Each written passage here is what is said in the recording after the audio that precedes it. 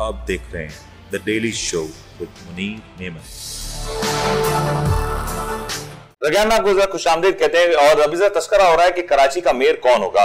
Peoples party में इस वक्त ये कॉन्फिडेंस तो पाया जाता है कि वो कराची में अपना मेयर और डिप्टी मेयर लाने में सौ फ़ीसदी कामयाब होंगे, लेकिन इस कॉन्फिडेंस के पीछे की वजह क्या है? जहाँ पे जमात इस्लामी की बात आती है तो जमात इस्लामी इस बात को आज भी क्लेम कर रही है कि वो वोट्स के एतबार से एक बड़ी जमात है और सबसे बड़ी जमात है। लेकिन क्या इन दिनों में कोई आम मुलाकातें हुई हैं? क्या इदारा नूरुल हक में कोई ऐसी मुलाकातें हुई हैं जो पीपल्स पार्टी के इस कॉन्फिडेंस की वजह बनी? है। इसी आवाज़ से गुफ्तु करेंगे हमारे साथ ज्वाइन करें जमात इस्लामी के सीनियर रहनुमा जनाब नजीब अयूबी साहब। नजीब साहब असलम नजीब साहब कॉन्फिडेंट आप भी हैं कॉन्फिडेंट पीपल्स पार्टी भी है और कुछ मुलाकातों का तस्करा भी है। आखिर होने क्या जा रहा है? कराची वालों की किस्मत का फैसला कब तक हो सकेगा?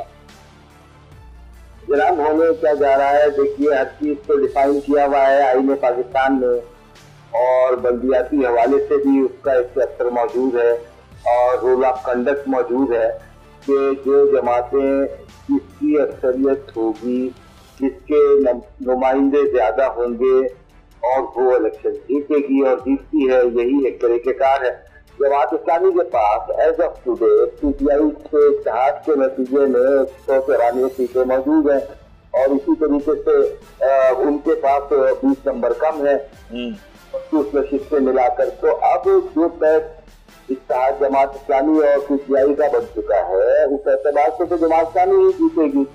इसके अलावा कोई आइन का तरीकेकार अगर हो तो मुझे बताइए। नजीब साहब मुझे ये बताएँ कि क्या बल्दियाती इंतबात में फ्लोर क्रॉसिंग की कोई गुंजाइश होती है?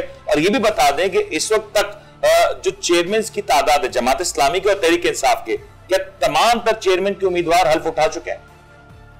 नहीं नहीं अभी तो बहुत सारे बाकी हैं मिसाल के तौर पे जो लोग गिरफ़्तार है यानी चार की इतला थी और चार अपराध गिरफ़्तार थे उनका हलफ नहीं हुआ हम्म। तो उसमें से एक को छोड़ा गया उसका भी हलफ नहीं हुआ और कल रात की इतला ये है कि कल एक और को गिरफ़्तार कर लिया पीटीआई से हम्म। इस तरीके से पाँच अपराध तो वो है कि जिन्होंने हलफ नहीं उठाए और इसी तरीके से इलेक्शन कमीशन के साथ मिलकर जो धांधला मचाया गया है उसमें छह यूपी इंतबात को हालाँकि इलेक्शन कमीशन ने उसको सुप्रीम कोर्ट ने रोक दिया था और इलेक्शन कमीशन के पास भेजा था। और उसमें की दो यूसीज तो ऐसी है कि जिसमें प्रिजाइडिंग ऑफिसर खुद कह रहे हैं कि हम फला जगह का नतीजा इसमें डालने से रह गए हैं लिहाजा उसके नतीजे को डाला जाए। तो आप बताइए उसके बगैर ही आपने अपने लोगों से अलग उठा लिया। इतनी जल्दी जल्दी ये सारे मामला तो मैं तो कहता हूँ कि ये पूरे का पूरा इलेक्शन जो है वो सेपोटाज हो चुका है। ये बदबूदार हो चुका है इसमें से ताफुल आने लगा है। इसलिए तो जो इलेक्शन की अथॉरिटीज है उन्होंने खुद पीपल्स पार्टी के साथ मिलकर उनकी एक ईद का किरदार अदा किया है।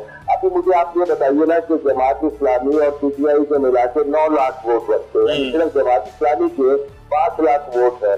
पीटीआई के आप और मिला लीजिए चार लाख वोट। हम्म। क्योंकि नौ लाख वोट बन गए और कोई ढाई लाख से ज़्यादा की पार्टी नहीं है पीपल्स पार्टी हम्म। इसके पास क्या तरीकेकार है ये कैसे कह रहे हैं कि वो कराची के बनेंगे। मिसाल के तौर पे अब चेयरमैन का मामला ये है कि नंबर ऑफ़ चेयरमैन भी इनके पास उतने नहीं है। मखसूस में शिफ्ट मिलाने के बावजूद भी वो पीछे के खड़े हैं। तो फिर आप क्या करेंगे? लेकिन लेकिन अजीब साहब पीपल्स पार्टी का कॉन्फिडेंस तो ये है ना कि शायद पीटीआई इलेक्शन में उस तरीके से पार्टिसिपेट ही ना करे। और पीटीआई के कैंडिडेट्स इलेक्शन डे के ऊपर या फाइनल जो वोटिंग का जो अमल है उसमें वो उस उस मौजूद ही ना हो तो शायद ये एक गुंजाइश पाई जाती है इसमें। गुंजाइश तो आप ये कॉन्फिडेंस नहीं है। हाँ, आप ये बात को नहीं समझ रहे?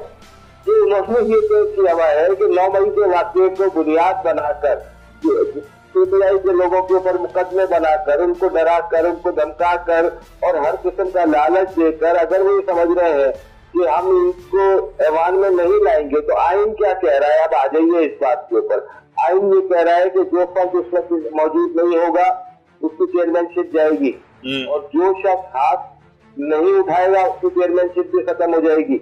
और जो शख्स फ्लोर क्रॉसिंग करेगा यानी पीपल्स पार्टी का होकर पीटीआई को जवास्तानी को वोट देगा या जवास्तानी का होकर किसी और तरफ़ वोट देगा तब भी तो अब आप बताइए कि जब ये सारे खाते आइन ने इनका रास्ता रोक दिया है ये पिछले मामले नहीं है कौमी और सूबाई असेंबली के आप इधर से उधर चले जाते हैं कोई फॉरवर्ड बिलास बनाकर रोकला बनाकर इस तरह की चीज़ें तो है साहब क्या ये अगर हो जाता है तो शख्स का वोट काउंट होगा? तो नहीं वोट नहीं काउंट होना चाहिए इसलिए जैसे ही आग खड़ा होगा या कोई और मामला होगा फ्लोर क्रॉसिंग हो चुकी होगी क्योंकि फ्लोर क्रॉसिंग हो चुकी होगी और ऐतराज उस पर आ गया होगा तो फिर किस तरीके से होगा? लेकिन फ्लोर क्रॉसिंग ना हो और वो शख्स इलेक्शन डे के ऊपर मौजूद ही ना हो ना आपको वोट करे ना पीपल्स पार्टी को वोट करे। हाँ तब भी तब भी जब पार्टी डिसीज़न के खिलाफ कोई फंस जाएगा तो वो अपनी सीट से महरूम हो जाएगा। जब महरूम हो जाएगा तो उस सीट से इंतखाब बनता है।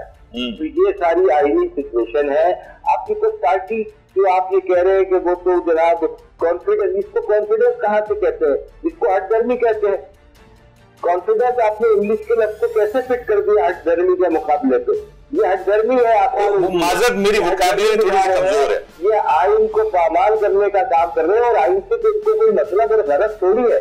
अयूब खान की गोद में बैठकर पीपल्स पार्टी बना सकते हैं वजारत खारजा का अलग ले सकते हैं एक डिक्टेटर और आमिर के साथ मिलकर और इन्होंने फातिमा जिला के मैंडेट को तस्लीम नहीं किया इन्होंने पाकिस्तान को तोड़ना गवारा कर दिया तो अब इनको तो ये घिसाई है ये ये आइन को रोक कर पामाल करके ये आगे कराची पे कब्जा करने का अमल है और कराची पे लूटने और कसूटने का जो अमल छह आठ दस साल से जारी था ये उसको अब आखिरी अंजाम तक पहुंचाना चाह रहे हैं। अच्छा अच्छा नजी- नजीब साहब जरा एक बात बता दें। कुछ इस तरह की इतलात है कि इदारा नूरुल हक में हाफिज नईमुर रहमान साहब ने तहरीक इंसाफ के जो चेयरमैन की जो विनिंग कैंडिडेट्स है उनको बुलाया और वो गालिबन उस मीटिंग में तशरीफ़ ना लाए। कि इस तरह का कोई मामला हुआ? इस तरह का कोई वाक्य हुआ? तमाम चीज़ें वो रिपोर्टिंग है जो हमारे कुछ दोस्त अखबार में वाबस्ता है और नमक हलाली कर रहे हैं। वो उनकी तरफ़ से ये चीज़ रेट हुई है। और हम मैं इसकी पुरजोर तरदीद भी कर रहा हूँ और आज हाफिज साहब भी इसकी कर क्या जमाता ने तो इतना बेवकूफ़ समझा हुआ है कि वो इनको मूवी दे रही है और सबसे ज़्यादा फाइट करके इनके मुकाबले पे गुजशत पैंतीस साल से मौजूद है और हम इतना आसान सा काम कर लेंगे कि सबको एक जगह पे जमा करके उनसे कहेंगे, आइए जनाब, ये तरनी वाला हजम कर लीजिए, इनको गिरफ़्तार कर लीजिए। तो ये ऐसा काम इस्लामी मेरा मेरा सवाल इसीलिए था नजीब साहब। मेरा सवाल इसलिए था क्योंकि मैंने खुद हाफिज नईम रहमान साहब की गुफ्तु सुनी थी। उन्होंने पहले ही कह दिया था कि हम कभी भी आपको ये पोजीशन अपनी वाजे नहीं करेंगे और इलेक्शन डे के ऊपर ही आपको अपने तमाम तर कैंडिडेट शो करेंगे। तो इससे पहले कोई ऐसी मुलाकात का होना ये एक खुद एक बड़ा सवाल है निशान अगर आप कह रहे मुलाकात ही नहीं हुई इस तरह की कोई। ये तो परेशानी उनकी है आप देखिए सत्तर हो गई कि वो इस तरह के न्यूज़ जो उड़ा रहे हैं और इस तरह की चीज़ें फैला रहे हैं। ये मतलब हमको इतना बेवकूफ़ समझा हुआ है हम पीपल्स पार्टी को मुँह दे रहे हैं और ना सिर्फ़ मुँह दिया है बल्कि उनको पीछे किया है। उनको कान से पकड़ के पंचायती इलेक्शन के अंदर लेके आए हैं। उनसे हर वो चीज़ मनवाई है कि जो कि वो नहीं देना चाहते बिलोमो मिसाल के तौर पे ये बल्दियाती एक्ट के अंदर जो तरामीम हमने करवाई है और जिसके अंदर ये खुद अब फंसते चले जा रहे हैं ये मुझे आइन का तरीकेकार को बता दे सही। कौन सा आईनी तरीकेकार होगा कि उसमें तीन लाख ढाई लाख की एक पार्टी नौ लाख वोट लेने वाली पार्टियों से ऊपर चली जाए और उनका मेयर आ जाए। या ये कि जिनके चेयरमैन की तादाद कम हो और वो चेयरमैन की तादाद से ऊपर चले जाए। तो ऐसा कानून नहीं जब आपकी आपकी बात आ गई लेकिन मैं मैं जस्ट एक रिपीट कर रहा रिकॉर्ड के लिए। ये बात आप रिकॉर्ड पे ला, ला रहे हैं और आप क्लियर कह रहे हैं कि तहरीक इंसाफ के चेयरमैन को कभी भी हालिया दिनों में ना बुलाया गया ना वहाँ पे मुलाकात का कोई ऐसा मंसूबा था ना ही ऐसा कुछ वाक्य हुआ। जनाब हमारी मुलाकातें तो रोज हो रही है। लेकिन इधारा नूर में नहीं हुई। है लेकिन ऐसा कोई हिजरात बाजाबता से बुलाया गया हो आना जाना ये तो दोस्तों का। लगा रहता है। लेकिन किसी इजलास की कोई ऐसी सूरत नहीं सर नजीब क्या पीपल्स पार्टी के चेयरमैन कुछ जो आपके साथ उनके भी रबते हैं आ, क्या उनसे भी कोई आना जाना लगा रहता है? हमारे तो पीपल्स पार्टी से भी रबते हैं हमारी तो नवाज़ शरीफ की लीग लीग से भी रबते हैं। और अल्लाह का शुक्र है बहुत अच्छे रास्ते हैं। इस वक्त तो हम बहुत बड़ा सरप्राइज़ देंगे इनको। क्योंकि ये ये ये बात ये बात इसलिए पूछ रहा हूँ। क्योंकि ये मुस्लिम लीग नून ने भी पीपल्स पार्टी से डेप्यूटी मेयर की सीट का तकाजा किया था जिसको टर्न डाउन कर दिया पीपल्स पार्टी ने। तो क्या ये मुमकिन है कि पीपल्स नून लीग की कराची की आदत पार्टी को अगर जी, जी। पीपल्स पार्टी को वोट चाहिए तो उन्हें कहीं ना कहीं तो कुछ करना होगा ना। हम्म, तो उन्होंने उससे तो उनका राइट बनता है नवाज़ शरीफ का या नून लीग का। और हमारे भी रास्ते हैं। और सब दोस्तों से रास्ते हैं इनको बहुत बड़ा सरप्राइज़ देंगे इंशाल्लाह। नजीब साहब अब लास्ट मुझे बता दें आपको लगता है पंद्रह तारीख तक या उन्नीस तारीख तक ये सूरत हाल वाजे हो जाएगी? और as expected by Jamaat Islami वही कुछ होने जा रहा है जो आप एक्सपेक्ट कर रहे हैं? देखिए वो होगा जो आईनी तरीकेदार है आईनी एतबार से हम जीते हुए हैं। नंबर में हम जीते हुए हैं वोटों में हम जीते हुए हैं। तो हम एतबार से बनेंगे। लेकिन ये आसमानी सुल्तानी का कोई कुछ नहीं कह सकता। दो चार दिन में क्या मुल्की कौमी सतह पे सूरत बनती है उसका तो कोई कौमी सतह पे कोई बड़ी तब्दीली की भी बात की जा रही है वो भी मुमकिन है। इम्कान बहुत है बहुत सारी चीज़ें हैं मैं अभी कह नहीं सकता हम्म। लेकिन ये मंजरनामे में बहुत सारी चीज़ें शामिल हो चुकी है। बहुत बहुत शुक्रिया निजी साहब आपका पॉइंट ऑफ़ व्यू आ गया और यकीन तौर पे आपने जमात इस्लामी का मौका भी दो टोक अंदाज में पेश कर दिया और यह बात यहाँ पे ज़रूर कही जा रही है कि इस वक्त जमात इस्लामी और पीपल्स पार्टी में जो कराची के मेयरशिप के लिए जो मामला चल रहा है, वो कशीदा तो हो चुका है, लेकिन इसका नतीजा भी जल्द आना होगा और कराची के लिए जहाँ पे नतीजा आना बहुत ज़रूरी है, वहाँ पे जमहूरी निज़ाम के तसलसल के लिए भी बहुत ज़्यादा अहम होगा कि कराची में मेयर और डेप्यूटी मेयर का इंतखाब जल्द हो, बर वक्त हो और सही आईनी तौर पर हो। ब्रेक लेते ब्रेक आप देख रहे हैं the daily show with Munir Memon